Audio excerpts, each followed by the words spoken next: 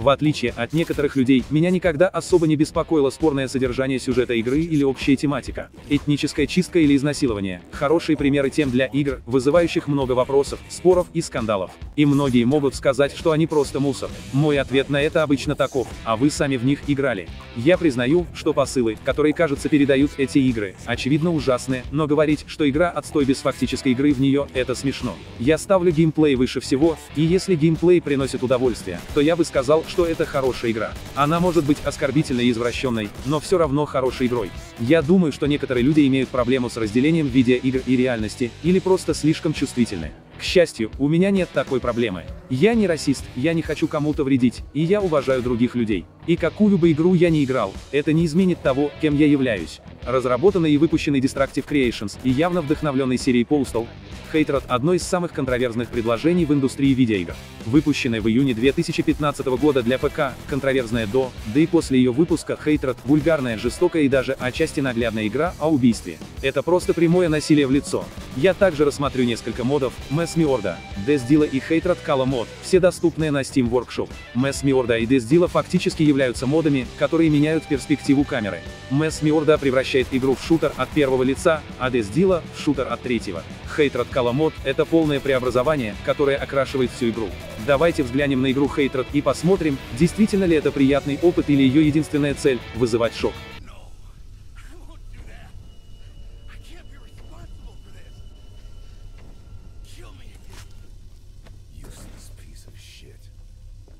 Идея в Hatred проста, убивай всех. Почему? Потому что пошел ты, вот почему. Протагонист никогда не называет свое имя, и он просто злой тип. У него длинные черные волосы, он носит черное пальто и очень сердит по какой-то причине. Он ненавидит всех и хочет умереть насильственно. Вот и все. Вступительный ролик задает всю историю. Она не глубокая, не очень интересная, и нет никакого развития персонажей, кроме краткого монолога главного героя для установления основной идеи. Вы никогда не узнаете, как он стал таким негативно настроенным человеком. Он говорит во время роликов и иногда после выполнения казни.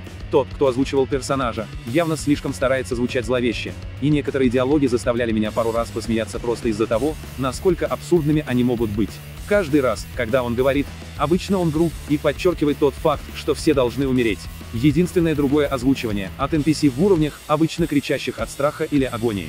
Сейчас очевидно, на что здесь шли разработчики. Они хотели создать игру, где цель – убивать невинных людей, даже полицейских и военных солдат. Протагонист – просто психопатический массовый убийца без эмпатии к другим.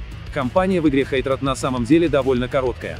Вы, возможно, сможете пройти ее менее чем за 2 часа на более низких уровнях сложности, которых тут 5. Режим истории – самый простой, легкий, сложный, экстремальный и безумный. Завершение игры на уровне экстремально разблокирует меню читов, где вы можете включить режим бога, чтобы сделать главного героя неуязвимым иметь бесконечные боеприпасы и вызывать любое оружие на ваш выбор для игры во время геймплея. В игре указано, что всего 7 уровней, но обновление игры привело к тому, что некоторые уровни были разделены на две области, и эти области как бы действуют как отдельные уровни, если это имеет смысл. Каждый уровень происходит в различном месте, включая пригороды, канализацию, гавань, вокзал, автозаправочную станцию, военную базу, центр города и даже атомную электростанцию. Основная цель в большинстве уровней – убить определенное количество людей, чтобы вы могли перейти на следующий уровень. Обычно каждый уровень представляет собой открытое окружение, предоставляя вам свободу перемещения куда угодно хотя исследование не приносит вам ничего, поскольку нет реальных коллекционных предметов или чего-то подобного. На мини-карте есть значки, указывающие на побочные задания. Когда вы приближаетесь к этим областям, вы активируете побочные задания. Как и основные цели, эти побочные задания обычно требуют от вас убить определенное количество людей в определенном месте. Например, одно задание требует убить всех на рынке, а одно из побочных заданий на уровне военной базы требует убить сержанта. Некоторые побочные квесты изменяют задачи, например, заставляют вас устраивать железнодорожное происшествие, сжигать деньги в банке и даже разрушать статуи и флаги. Почему стоит обращать внимание на побочные квесты? Потому что, если вы не играете на уровне сложности безумной, завершение побочных квестов вознаграждает вас точками возрождения. Когда вы умираете, вы можете использовать точку возрождения для продолжения игры. Если у вас нет никаких точек возрождения, вам придется начинать уровень заново, что может быть раздражающим позднее в игре из-за несбалансированной сложности. Уровень сложности безумный не вознаграждает вас точками возрождения. У вас всегда есть нож, который используется только для казней. С самого начала вам предоставляется штурмовая винтовка, но вы можете получить другое оружие по мере продвижения. Есть пистолет, несколько пистолетов-пулеметов, штурмовые винтовки, дробовики, огнемет, ракетница, гранаты, коктейли молотова и светошумовые гранаты. Вы можете нести все три типа гранат, но ограничены только тремя оружиями, которые могут быть заменены на другие, найденные в окружающей среде или спавших NPC. Основная игра проходится с изометрической камерой, и вся игра сильно вдохновлена оригинальной игрой Postal. Вы можете бегать, спринтовать, приседать и прыгать, что также служит для уклонения от огня. Вы можете пинать вещи и даже прыгать через большие окна. У вас есть прицел, и даже можно увеличить масштаб, что означает, что вы можете видеть дальше впереди и ваши выстрелы более точны. В моде Deal я заметил, что прицел использует какую-то форму мягкой автоприцеливания, или прицел просто странный, потому что он никогда не центрируется на цель. Сейчас в игре нет предметов для восстановления здоровья, но вы можете получить броню. Единственный способ восстановить здоровье – это совершать казни. Когда вы стреляете в NPC, они в конечном итоге падают, и если они еще живы, вы можете совершить казнь, которая заключается в том, что главный герой убивает жертву жестоким образом. Вы можете перерезать горло жертве, ударить жертву в голову ножом, выстрелить жертве в лицо на расстоянии вытянутой руки, или даже в затылок. Казни представлены в двух формах, одна форма дает вам кинематографическое представление, позволяя вам наблюдать убийство вблизи, а другая называется безопасной казнью, где вы видите ее с обычной изометрической перспективы. Из главного меню вы можете включить опцию просмотра только безопасных казней. Но я должен признать, что кинематографические казни – это действительно зрелище. Фактически, сама стрельба из оружия и насилие являются спасением игры. Сам акт стрельбы из вашего оружия, наблюдение за тем, как пули пронзают NPC, и реакция жертвы на выстрел выполнены очень хорошо. Выстрел из дробовика и даже пистолетов, пулеметов и штурмовых винтовок на близком расстоянии могут срывать головы и конечности. Наблюдение за ранеными NPC, ползающими вокруг, кричащими от боли, умоляющими о своей жизни или ругающимися на вас перед тем, как вы выстреливаете им пулю в затылок, все это вызывает чувство удовлетворения. Назовите это грешным удовольствием. Есть что-то в том, чтобы проникнуть через уровень и видеть все трупы, лежащие на земле в лужах крови, по мере того, как вы убиваете все больше и больше людей. Когда вы играете на любой из карт в Месс Миорда, вид от первого лица на самом деле делает все немного более захватывающим, и это включает в себя каждое убийство. Каждую казнь вы видите от первого лица, что позволяет увидеть все великолепно детально. Можно сказать, что Хейтрат — это симулятор убийства. Конечно, другие игры позволяют вам убивать людей без разбора. Но обычно эти люди злые или плохие, или игра действительно накажет вас за убийственную безумную ярость. Хейтрат — это совсем другое, вы фактически вознаграждаетесь за убийство. Единственные другие игры, о которых я могу подумать, которые делают это, это серии Postal и Manhunt. Я бы сказал, что Postal немного более комический и отчасти чересчур экстремальный, а в Manhunt вы преступник, убивающий других преступников, поэтому это не совсем то же самое. Видеоигры предоставляют побег от реальности, и каким-то темным образом Хейтрат предоставляет побег, как никакая другая игра. Просто не воспринимайте это всерьез. И прежде чем начать сомневаться в моих моральных ценностях или даже ваших собственных, спуститесь на землю и помните, что это всего лишь видеоигра. У Хейтрат есть некоторые проблемы, в основном связанные с его сложностью и недостатком контента. Кампания очень короткая, и ближе к концу становится невероятно сложной, даже на низких уровнях сложности. Я могу пройти первые три или четыре уровня без особых проблем на сложности хард, но последние уровни действительно утомительны. В реальности, главный герой, вероятно, был бы убит задолго до того, как он даже добрался до военной базы. Я имею в виду, ты бегаешь на открытом воздухе, стреляешь из своего оружия, а полицейские и солдаты приходят, чтобы остановить тебя. Никто не помогает тебе, нет никаких механик укрытия, кроме приседания за объектами, и даже тогда тебя легко могут застрелить. На ранних уровнях ты сталкиваешься с полицейскими и офицерами СВАТ, но на последних уровнях появляются солдаты. И вот тогда любое удовольствие, которое у тебя было, превращается в разочарование. Все враги обычно прибывают большими группами, иногда они просто появляются из ниоткуда, но обычно они подъезжают на машинах. Ты можешь угнать определенные машины и ездить по округе даже через здания, и некоторые машины СВАТ и военные транспортные средства оснащены башнями. Есть три уровня, где ты начинаешь в машине с башней, и настоятельно рекомендуется использовать ее, чтобы облегчить себе жизнь. К сожалению, эти уровни просто абсурдные, и они становятся вопросом проб и ошибок. Я обнаружил, что медленное движение вперед, а затем использование башни для уничтожения любых врагов на расстоянии – это лучший подход. Повторите этот процесс несколько раз, чтобы продвинуться больше, чем на пару метров, в противном случае враги собьют тебя и твою машину за считанные секунды. Нет никакого шанса, что парень, подобный главному герою, сможет проникнуть на военную базу, убивая всех на своем пути, и выйти оттуда живым. Игра даже создает ощущение невозможности этого, когда пули летят на тебя со всех сторон. Поздние уровни кажутся очень несбалансированными, потому что ты постоянно оказываешься под огнем врагов. Даже некоторые прохожие могут стрелять в тебя, если у них есть оружие. Я думаю, традиционное восстановление здоровья, реальные предметы здоровья или просто уменьшение числа врагов могли бы помочь устранить разочарование. Если ты смог прорваться на сложности экстрим и разблокировать читы, то вот это действительно способ играть.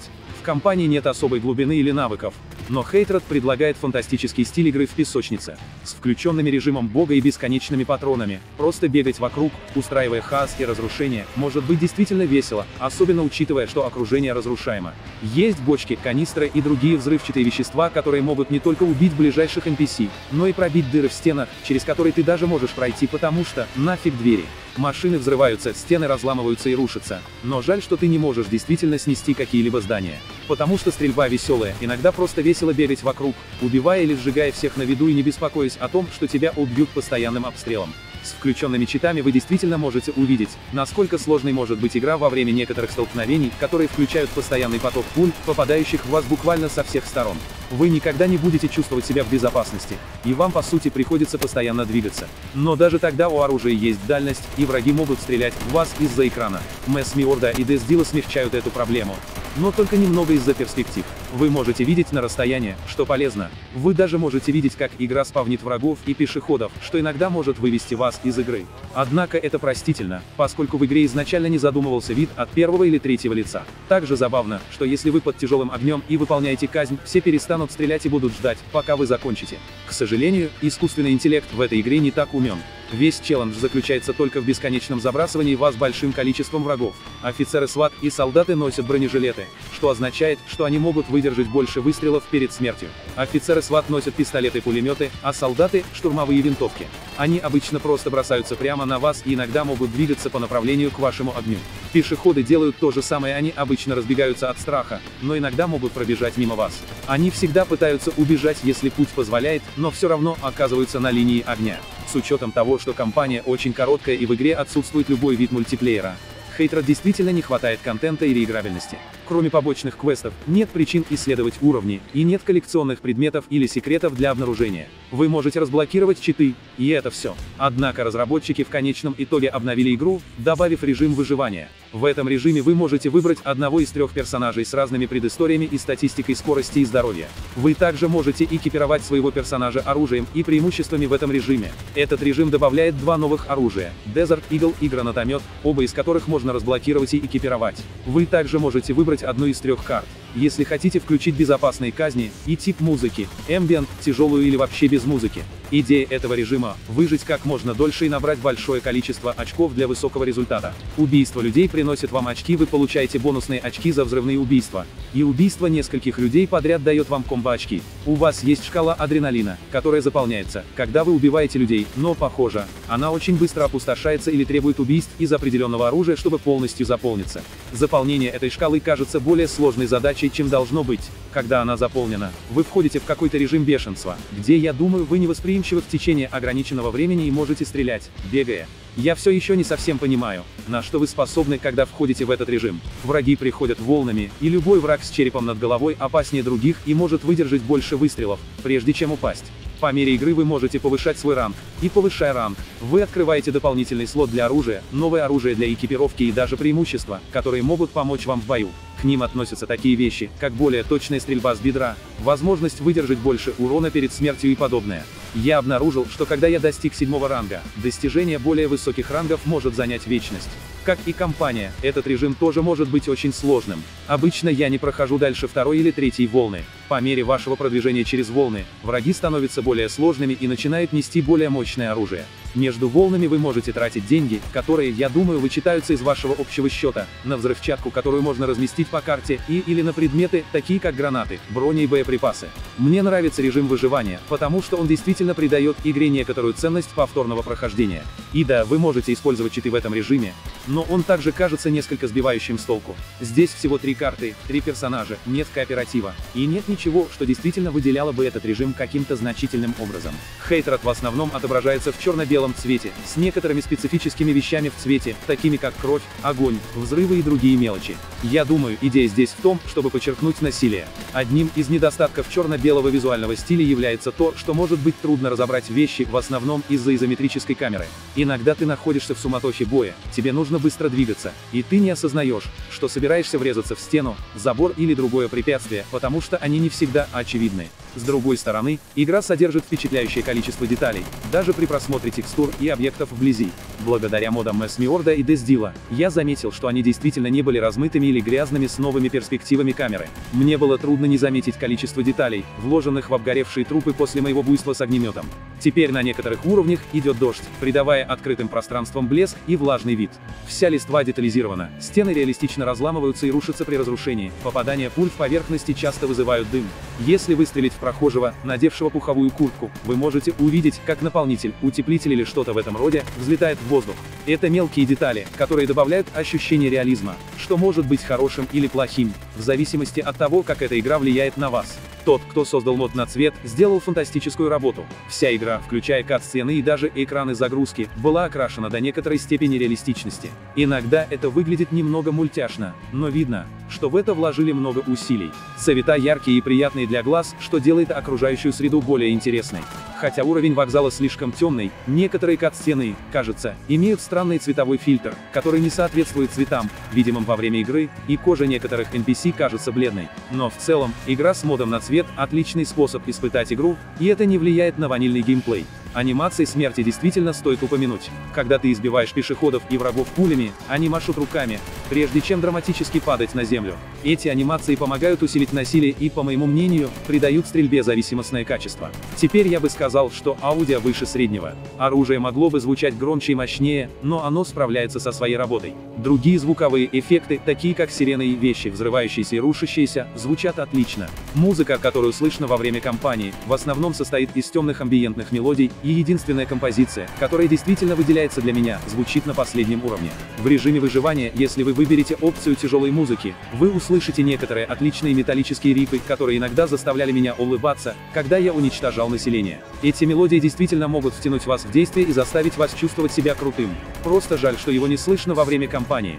С технической стороны, я думаю, я заметил падение частоты кадров один раз, когда все стало действительно хаотичным. Перспектива от третьего лица в Death кажется лучше реализованной, чем перспектива от первого лица в Mass Miorda, с видом через плечо, который заставляет игру казаться такой, как если бы она должна была быть разработана как более традиционный шутер от третьего лица. Теперь я понимаю, что игра не предназначена для игры с этими перспективами, и я предполагаю, что возможности этих модов в некоторой степени ограничены. Но я ценю работу, которая была вложена в них, и если вы думаете, что они выглядят весело, я могу честно сказать, что это так, и вы определенно должны их проверить. Я не могу сказать, что мне не было весело с Хейтрат, но вся игра в некотором роде кажется большой упущенной возможностью. Я прошел Хейтрат уже как минимум 6 или 7 раз, в основном из-за модов. Сама стрельба действительно дает огромное чувство удовлетворения, но вопрос становится, будут ли люди на самом деле получать удовольствие от нее, учитывая ее направленность. Признаюсь, мне было весело. Если на секунду отбросить мораль и посмотреть на Хейтрат как на видеоигру, каковой она по факту и является, то она достигает цели.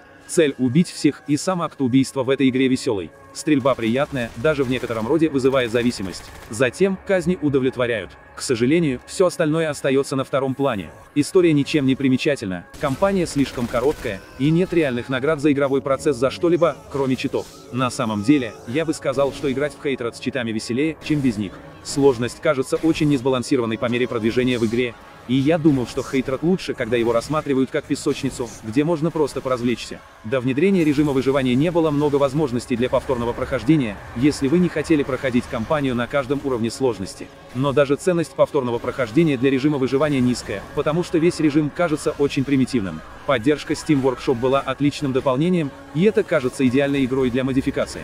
Перспектива от третьего лица, найденная в моде Death Deal, кажется такой, какой должна была быть разработана игра а мод Мэс Миорда окажется более погружающим. Мне очень понравилось время с обоими, и они даже позволяют визуальным эффектам и деталям игры сиять больше, чем в ванильной игре, так как вы можете лучше рассмотреть мир вокруг вас. Мод на цвет также отличный и даже смягчает некоторые проблемы, возникающие при обычном черно-белом стиле. На самом деле мне было трудно вернуться к ванильной игре, потому что мод на цвет делает все гораздо интереснее для взгляда. В отличие от некоторых людей и веб-сайтов, которые отказываются признавать хейтрат и полностью отвергают игру, я думаю, что был довольно справедлив.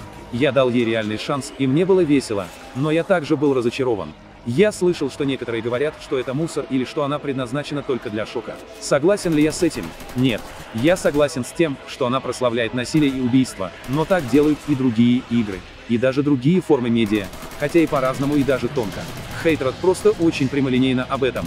Я также думаю, что Хейтрод пытается передать сообщение, которое люди, кажется, игнорируют или просто не понимают. Примерно в то время, когда она была выпущена, я верю, что разработчики сделали заявление, говоря, что Хейтрод в большей или меньшей степени является сообщением о насилии в нашем мире и нашим очарованием, убийствами, смертью и кровопролитием.